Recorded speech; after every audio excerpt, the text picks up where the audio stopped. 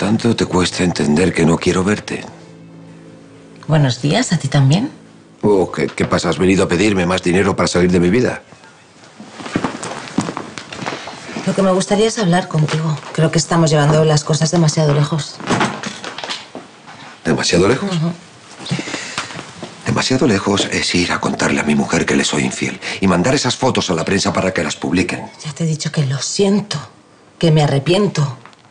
Pero creo que pedirme que salga de tu vida para siempre es exagerar. Exagerar. ¿Tú no te has parado a pensar que tendría que darle muchas explicaciones a Julia si me fuera? Sí, y también tendrías que explicarle que mi amante eres tú. ¿Cómo crees que se lo tomaría?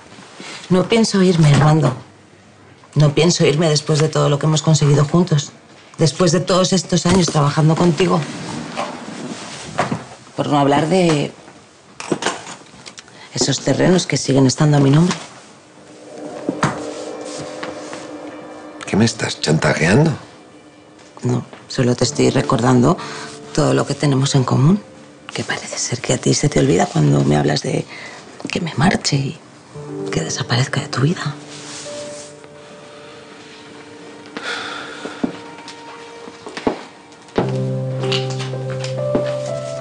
Crees que te estaría chantajeando si no te devolviera esto?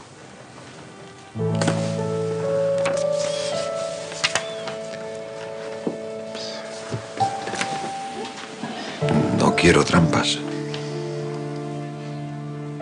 Yo tampoco. Podemos dejar de ser amantes, pero podemos seguir siendo equipo. Tú decides.